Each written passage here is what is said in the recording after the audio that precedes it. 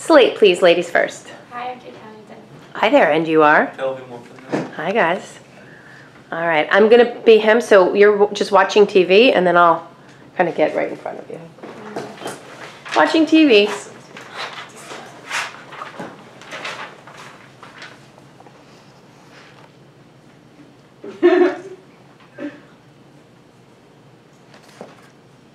Criss Angel?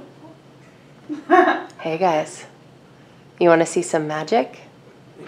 It's just um. No, no, wait. I'm gonna actually have you come over here. It's really good. Let's do this first part one more time, and just deal with the fact that somebody just jumped through your window and then in front of your TV. It's really freaky. Okay.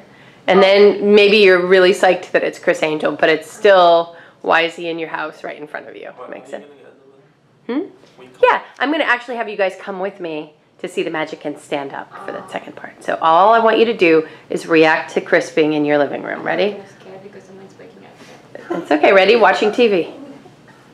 Watching TV. Criss Angel? Hi guys.